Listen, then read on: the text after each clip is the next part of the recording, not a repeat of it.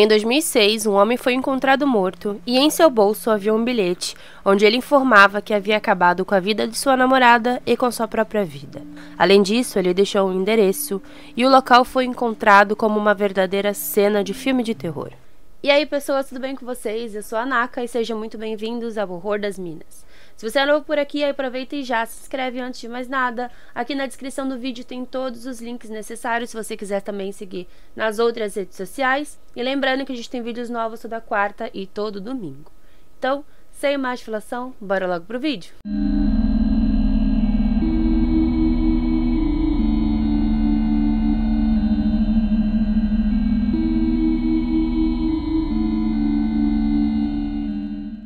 Zachary Morgan Bowen, ou apenas Zach Bowen, nasceu no dia 15 de maio de 1978 em Bakersfield, Califórnia. Quando criança, ele sempre foi considerado muito brincalhão, carismático.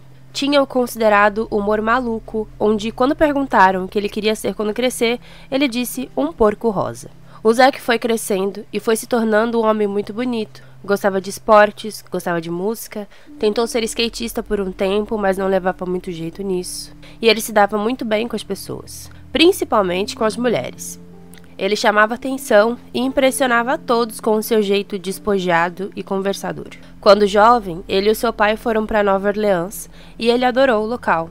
E depois de um tempo, o pai voltou para sua cidade natal e o Zack ficou por lá, onde começou a trabalhar em um bar. Nesse bar, ele conheceu uma dançarina chamada Lana. Os dois rapidamente se gostaram e iniciaram ali um relacionamento. O que Lana não sabia era que o Zack tinha 17 anos e ela era 10 anos mais velha que ele. E ainda sem saber dessa informação, ela acabou engravidando. E foi realmente tudo muito rápido. Quando a Lana descobriu, ela decidiu terminar o relacionamento, seguir com a gravidez e tudo andaria normalmente. E ela, inclusive, nunca cobrou dele essa paternidade. Porém, o Zack queria manter esse namoro e queria, na verdade, levar a um outro patamar. E então ele pediu a Lana em casamento e ela aceitou. O casal se dava muito bem, eles se amavam, brincavam muito, e mesmo com a família do Zack não gostando muito da ideia por ele ser muito mais jovem, durante muito tempo eles foram muito felizes. Pouco tempo depois do casamento, Alana engravidou mais uma vez, dando à luz ao seu segundo filho. Como dessa vez ele precisava de mais dinheiro para sustentar a sua família, o Zack se alistou no exército, justamente para ter os benefícios que isso poderia proporcionar para ele e para sua família. Porém, ele foi mandado para o Iraque e a partir daí toda a sua vida mudou. O Zack voltou completamente diferente, parecia uma outra pessoa, muito machucado psicologicamente falando, o que é até comum para as pessoas que costumam ser mandadas para esse tipo de trabalho. Devido a isso, Alana acabou pedindo a separação, já que, segundo ela, ele não era mais o homem pelo qual ela se apaixonou. Com isso, o Zack ficou pior do que ele já estava. Ele ficou transtornado e, inclusive, escondeu a separação durante muito tempo. Anos depois, em 2005, o Zack tinha agora 27 anos, já tinha sido dispensado do exército e havia voltado para Nova Orleans para trabalhar em um bar. Dessa vez, um bar chamado French Quarter e lá ele trabalhava como bartender. Nesse bar ele era visto como um homem tranquilo, novamente muito carismático, voltou a chamar a atenção de mulheres e ele inclusive fazia truques de mágica enquanto trabalhava, e tudo isso aumentava sua atenção. E na verdade ninguém sabia nada sobre o passado do Zack. Todos ali realmente adoravam ele. E nesse mesmo bar ele conheceu a Ed Hall. A Ed era uma artista dependente, tinha um estilo meio hippie, um espírito livre, estava desanimada em relação aos homens, isso porque ela já tinha passado por relacionamentos muito difíceis, relacionamentos abusivos, então ela tinha até um temperamento considerado agressivo, e ela tentava equilibrar a sua vida artística com o ambiente local e todo o seu trabalho. Além disso, a Ed sofria de transtorno bipolar e tomava irregularmente medicamentos para tratar a sua doença. Por isso, ela tinha algumas explosões de sentimentos, digamos assim. Ela gostava de escrever poesia, adorava pintar, dançar e ela basicamente achava o Zack um saco. Ela era muito gentil, era carismática, engraçada, mas achava tudo que ele fazia para chamar atenção algo demais, algo desnecessário. E mesmo que ele fizesse de tudo para chamar atenção, principalmente dela, ela sempre se mostrava mais fria, até também para ver até onde ele iria, se tudo aquilo não era somente um jogo de interesse. Uma certa noite, o Zack ficou no bar após o expediente e os dois conversaram um pouco mais, beberam algumas doses e os dois acabaram se aproximando. Aos poucos, eles foram se aproximando cada vez mais e mais, até que eles se apaixonaram completamente e engataram ali um romance. Os dois pareciam muito felizes, porém nem Ed e nem os seus novos amigos sabiam realmente do passado do Zack, incluindo o fato que ele tinha dois filhos. E quando ela soube disso, ela não gostou nem um pouco, porém ela continuou com ele, já que ela estava muito apaixonada. Pouco tempo depois do romance começar, aconteceu então o furacão Katrina, que iria direto para Nova Orleans. Sabendo disso, a Ed ficou com muito medo do que poderia acontecer. E a Lana ligou para o Zack pedindo para que ele voltasse para sua casa, porque estava com medo do furacão e estava com os seus filhos pequenos. Então ela não sabia como ela poderia passar aquilo ali tranquilamente e ela pediu a ajuda do Zack, algo completamente normal. Porém, ele não foi e ele disse que ficaria com a sua namorada porque ela estava com muito medo. Devido ao perigo, a cidade recebeu um alerta de evacuação. Porém, o Zack e a Ed não quiseram abandonar as suas coisas, não quiseram sair dali e decidiram ficar juntos em um apartamento. O furacão Katrina, para quem não sabe, foi um dos mais avassaladores dos Estados Unidos, causando mais de mil mortes e destruiu Nova Orleans. Com toda a destruição, a cidade ficou 80% submersa. Ninguém conseguia contato com Zack ou Ed, e ninguém sabia se eles realmente estavam pelo menos vivos. Mas eles sobreviveram no apartamento, onde eles conseguiram colocar barricadas para se protegerem durante a tormenta, e de certa forma isso acabou unindo ainda mais os dois. Depois, a cidade inteira ficou sem acesso à eletricidade e todos eles ali se ajudavam e o Zack e a Ed foram principais nesse ponto.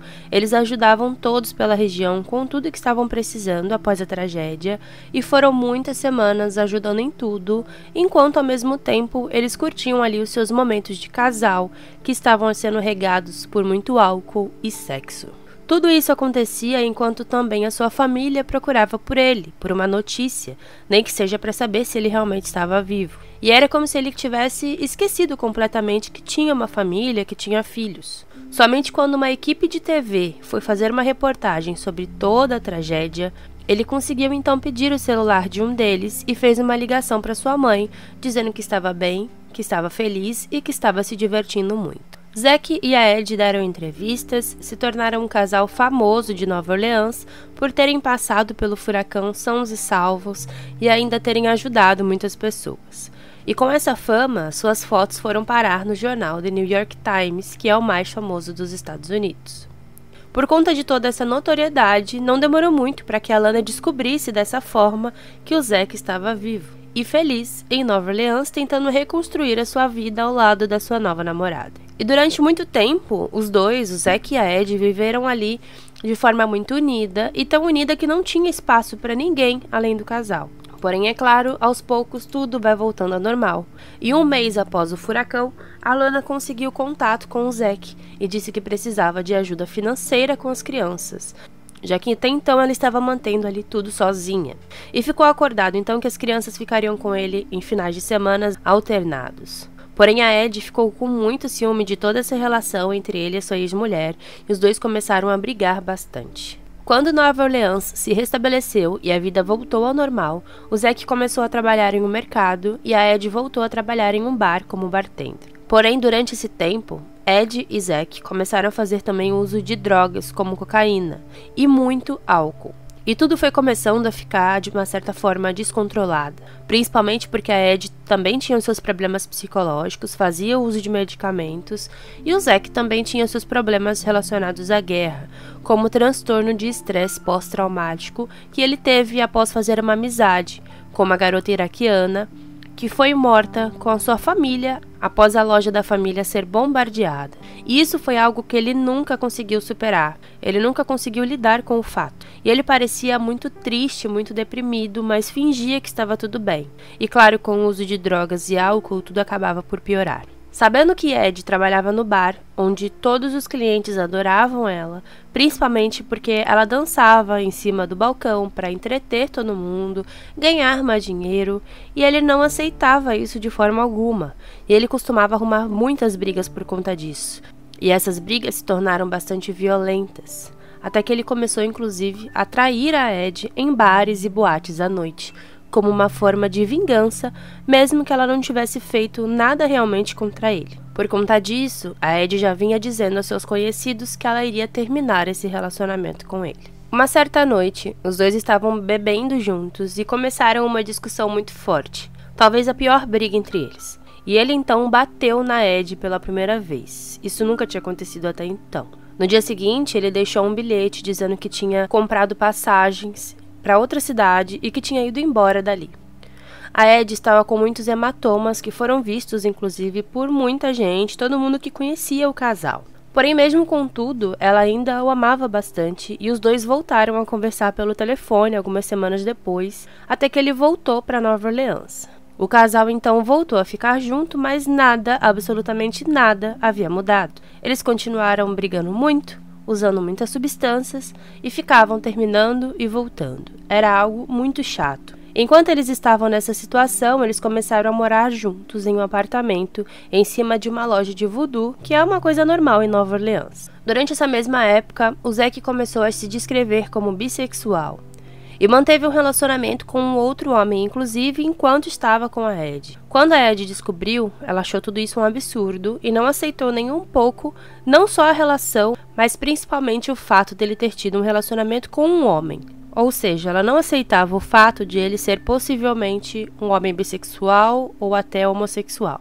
Numa quinta-feira, dia 5 de outubro de 2006, a Ed decidiu expulsar o Zack do apartamento. Anteriormente, ela teria ido até a casa do senhorio, pedindo para que ele cancelasse o contrato de locação do Zack, já que ele havia atraído, mas esse homem não aceitou e disse que ela voltasse para casa e resolvesse as coisas com seu namorado. No local, ela começou então a fazer um completo escândalo, dizendo coisas humilhantes, ofensivas e homofóbicas, enquanto ele tentava acalmá-la e fazê-la parar de falar. E nessa tentativa de fazer ela parar de falar, eles começaram a brigar muito feio e ele então a estrangulou até a morte. Depois de matá-la, o Zack violou seu corpo sexualmente várias vezes até que ele desmaiou ao seu lado. No dia seguinte, ele se levantou, foi trabalhar normalmente e, quando voltou, ele levou seu cadáver para a banheira, onde desmembrou usando uma serra e uma faca.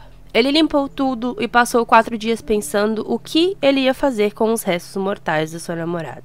E durante esses quatro dias ele viveu tranquilamente, normalmente, foi trabalhar, encontrou pessoas, parecia de bom humor e disse que inclusive estava pensando em tirar férias e ninguém até então sabia o que tinha acontecido e ninguém sabia onde estava a Ed. Depois desses quatro dias, ele decidiu que era hora de cozinhar os restos mortais de Ed para ser mais fácil de descartar. No dia 17 de outubro, por volta das 20h30, a polícia de Nova Orleans recebeu uma ligação, alegando que um corpo de um homem havia caído no telhado da garagem do Omni Royal Orleans Hotel. A polícia chegou no local e começaram as investigações para saber quem era aquele homem, e no bolso da sua roupa eles encontraram um bilhete dizendo: Isso não é acidental. Tive que tirar a minha própria vida para pagar pela vida que tirei. Se você enviar uma patrulha para o número 826 Rampart você encontrará o corpo desmembrado da minha namorada Ed, no forno, no fogão e na geladeira,